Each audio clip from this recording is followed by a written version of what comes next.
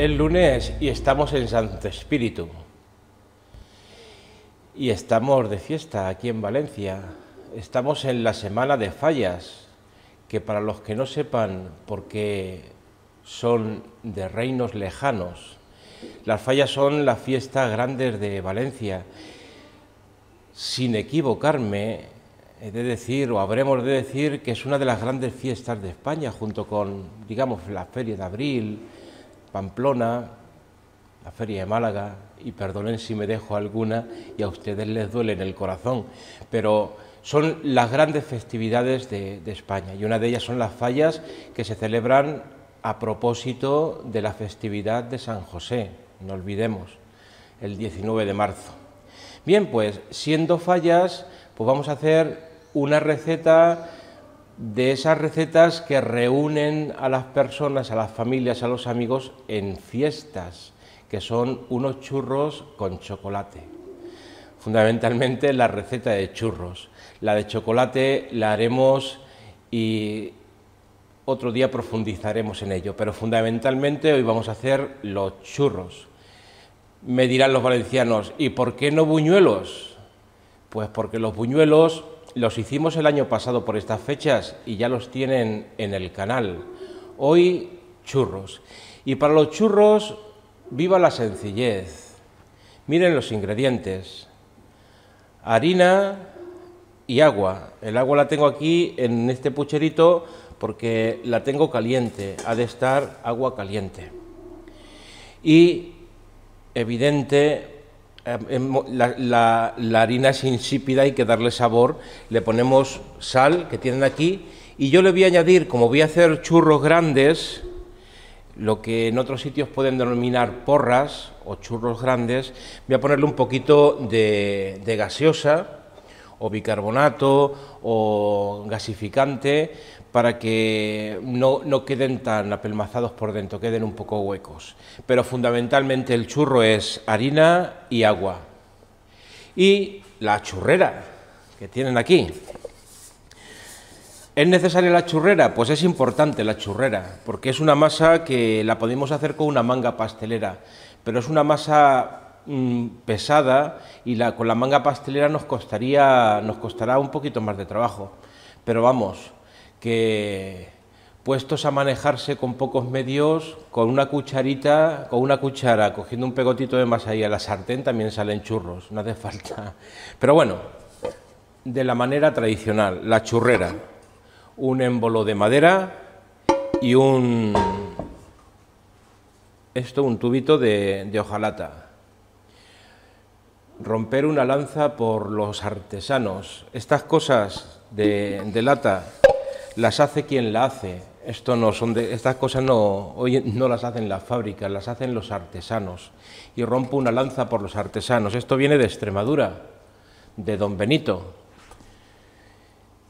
de alguno de los pocos que aún sabe, alguno de los pocos lateros que sigue, que sigue sabiendo trabajar la hojalata. Esta es, hojalata pues, está galvanizada. Bien, pues simplemente para meter la masa, con el émbolo a apretar y por aquí nos saldrá el churro que caerá directamente sobre el aceite. Bien, pues vamos con la masa. La masa es muy sencilla de recordar y no hace falta memorizar ninguna cantidades. La misma cantidad que ponemos de harina en volumen, la ponemos de agua en volumen. Como vamos a utilizar el volumen, yo les, presento estos artilugios. Antes en las casas había unos jarritos de medir yo recuerdo en mi casa unos jarritos de medir, también de lata, hecho por, por, ojalateros. Uy, este, este vídeo casi va a ser homenaje a los ojalateros. Había unos jarritos de medir, cada jarrito tenía su medida. Hoy en día pues se pueden conseguir este, estos jarritos para medir.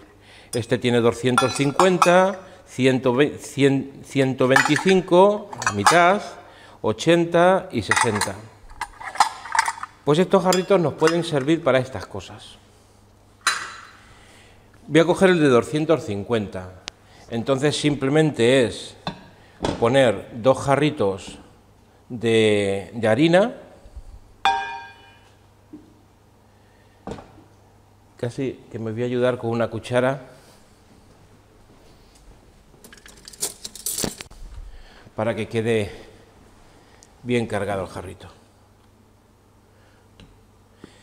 Voy a poner tres jarritos de, harina sin apretarla porque entonces meteríamos más de la cuenta, tal cual está. Voy a poner tres jarritos de, de harina. Ustedes así de forma más familiar, pues quizás con uno, un jarrito o dos, tienen suficiente. Bien, hacemos ahí un huequito así en medio para que el agua caiga bien. Y aquí tenemos agua caliente. Voy a poner primero la sal. De sal más o menos una cucharada, unos 20 gramos o así. Y de esto vamos a poner otros tres jarritos. Uno, de agua caliente, porque la harina se tiene que escaldar, es decir, se tiene que cocinar. Y ya con, ese, con el calor de ese agua ya la harina queda, digamos, cocinada. Los polvos de hornear, cuando tengan un poquito movido, movido esto, se los añadiré.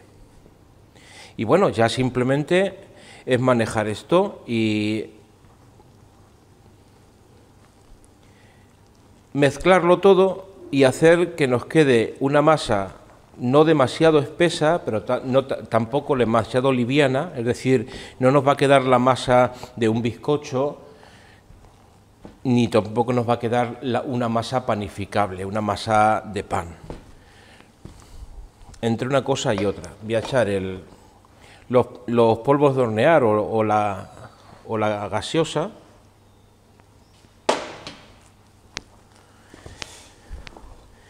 Y bueno, ya simplemente es ir manejando esto, dándole vueltas hasta que queden una masa fina, quede una masa fina sin apariencia grumosa. Me dejen que yo vaya trabajando esto y volvemos cuando tenga la masa en su justo momento y ya también haya puesto a calentar el aceite.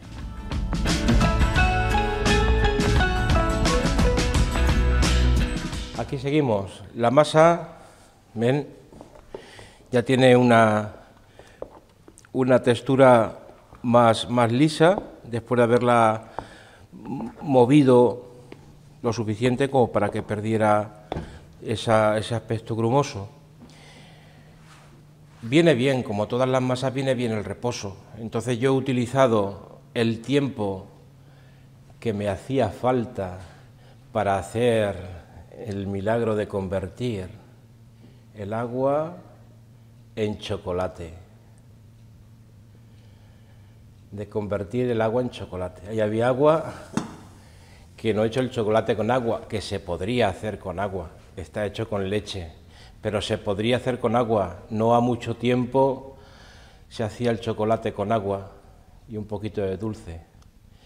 Bien, y esto ya les explicaré no es para azotarse ni para azotar a nadie. Ya les explicaré. Salí a, cogerlos a la huerta, que no sé por qué razón tenemos una mata de juncia o de juncos.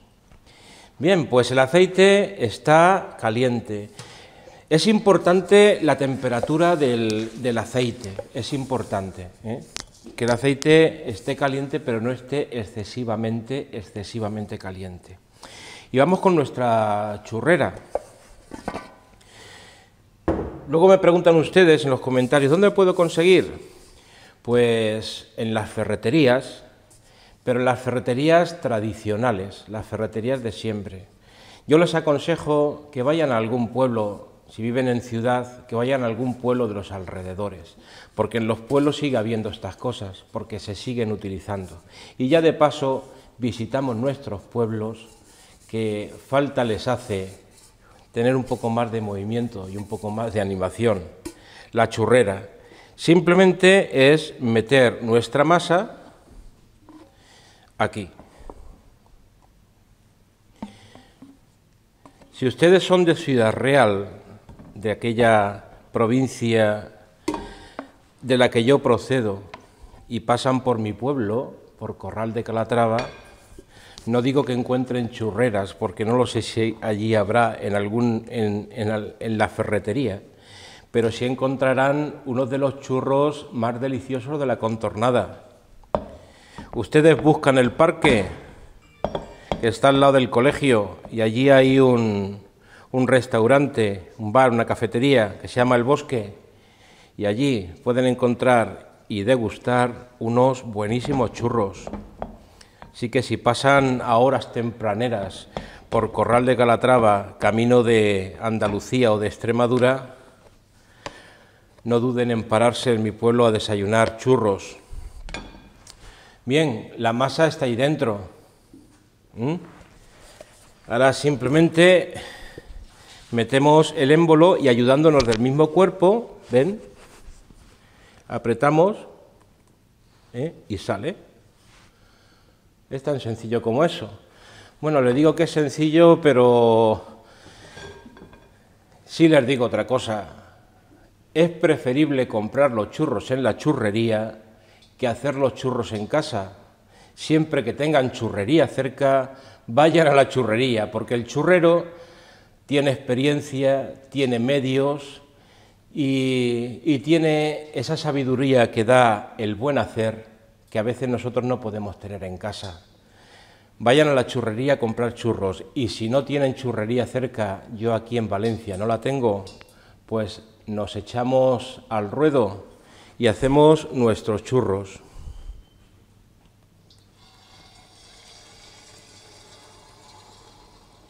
Los voy a hacer como se hacían no sé si aún se hacen, en el pueblo de mi madre. Recuerdo, son de esos recuerdos que, bonitos que uno tiene cuando estando en el pueblo de, de mi madre nos mandaba a por churros, porque el churro siempre ha sido un momento de encuentro, de encuentro familiar. Ha sido un momento en el que pues las familias se, juntaban para desayunar y andábamos tomando nuestro chocolate con nuestros churros en, un ambiente amigable. Bien, ya les digo que no es fácil, ¿eh?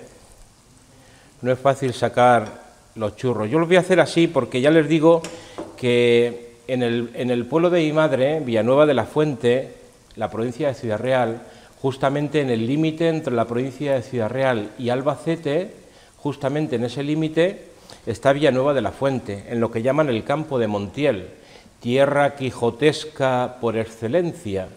Pues allí, en Villanueva de la Fuente, pues al alborear el día, mi madre decía, anda, irá por churros.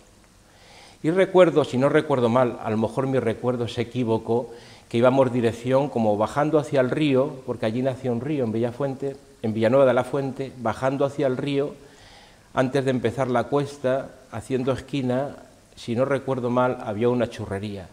Y allí en esa churrería comprábamos nuestro, nuestro manojito de churros y para casa. Y alguno caía por el camino, que siempre decía mi madre, faltan churros. Bueno, Vamos a ver si podemos sacar estos churros. Le voy a dar un poquito más de, fuerza al aceite, que no, mm,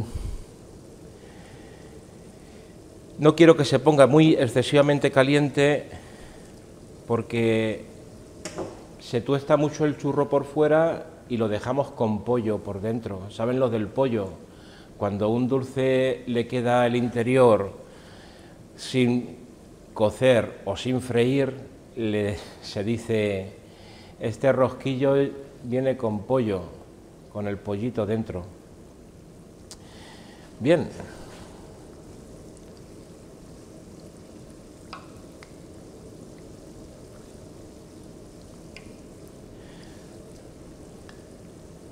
Luego les explicaré, porque la forma de, los, de estos churros la verdad es que los churros tienen muchas formas. Los churreros normalmente hacen una rosca grande, una rosca grande, redonda, Lo que pasa es que para eso necesitas ayuda, necesitas que alguien le vaya dando la vuelta a la rosca. Y aquí Amparo está con las manos ocupadas en la, en la cámara y no me puede ayudar. Se hacen unas roscas grandes que luego se parten en, en porciones que son, los, que son los churros. Luego hay otros churros pequeñitos, más elegantes, más de churrería fina. Y luego están pues estos churros de pueblo y hechos por un inexperto que soy yo, pero que van a llevar el buen sabor del, del cariño. Bien, estoy esperando simplemente para, para, sacárselos y que vean el resultado. Allí tengo puesto un, un, un papel absorbente. Los voy a ir sacando.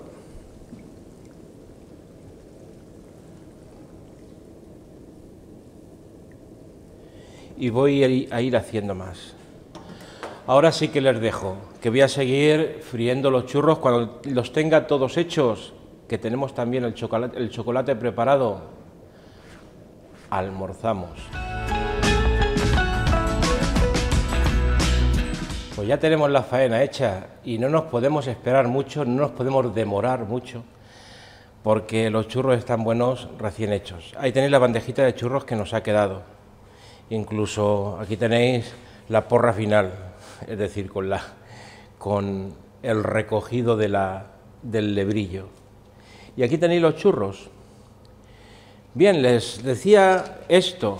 Esto es juncia, son los juncos que nacen en los ríos y junto a los ríos. Por eso digo que es extraño que aquí en este convento, que no pasa ningún río, tengamos una mata de juncos, pero ahí la tenemos. Algún fraile curioso y amigo de las plantas traería, lo traería, lo plantaría y ahí está. Bien, pues en el pueblo de, de, mi madre, en Villanueva de la Fuente, cuando íbamos a comprar los churros, la forma de darnos los churros, la churrera o el churrero en la churrería, era con un junco. Esto es, se lo, lo hacía así un poco maleable con la mano, ¿eh? y decía, niño, ¿cuántos quieres? Cinco. Uno, dos, tres, cuatro, que sé contar, y cinco. Qué recuerdos, de verdad. Son de esos, esas pequeñas cosas que nos dejó un tiempo de rosas. Y allí vamos, el chiquillo por la calle pellizcando, pellizcando los churros disfrutando y llegando a casa con la mitad de churros que le dieron en la churrería. Bien, pues ahí se los dejo, atados. Y cómo no,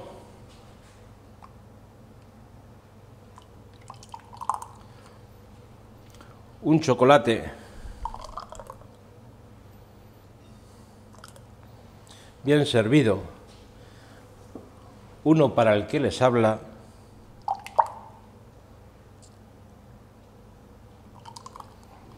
y otro para quien graba.